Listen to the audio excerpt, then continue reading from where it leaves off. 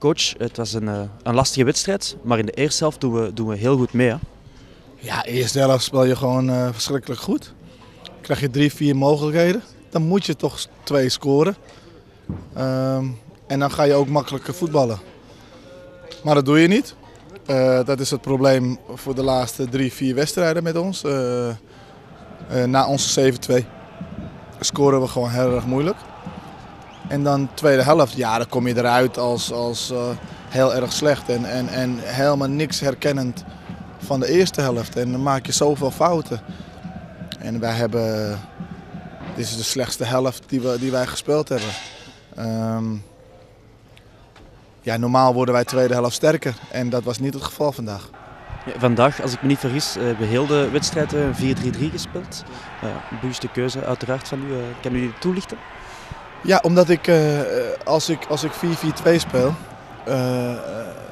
hoe wij die spelen, dan zijn mijn rechtsback en mijn linksback zijn, die moeten dan heel erg sterk zijn. En op dit moment heb ik Kelvin Meijnaert niet. En ja, dan moet je toch een beetje meer beschermen, de rechtsback. En, de, uh, want dat is niet zijn beste positie.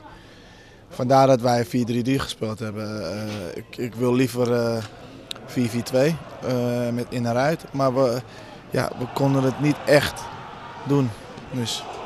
Ja, als je dan op achterstand komt in de tweede helft, in de Belgische tweede klasse heb je soms echt gewoon knokvoetbal nodig. En, en is het dat wat ons misschien ontbreekt? Nou, knokvoetbal. Uh, kijk, je komt 1-0 achter. En dan moet je zorgen dat je, dat, je, dat je nog zuiverder bent met je passing. En dat waren we niet. En dat is jammer. Uh, we, maakten, we waren toch geforceerd bezig. En dan moet je juist heel rustig, heel, heel slim, heel uh, afwachtend toch nog spelen. En, en, en wachten totdat de mogelijkheid er komt. we hadden een heel klein mogelijkheidje met, met, met Freddy. Maar dat was dan het voor de tweede helft. En, en, en dat is niet goed genoeg voor ons. Ja, nu de komende week alweer twee wedstrijden. Eerst naar Tubeke en dan Lommel thuis. Wat, wat vraagt u daarvan?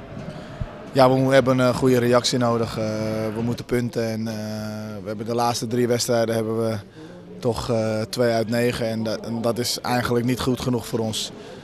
En we moeten een goede match neerzetten tegen, op donderdag. En dan zullen we wel zien op zondag.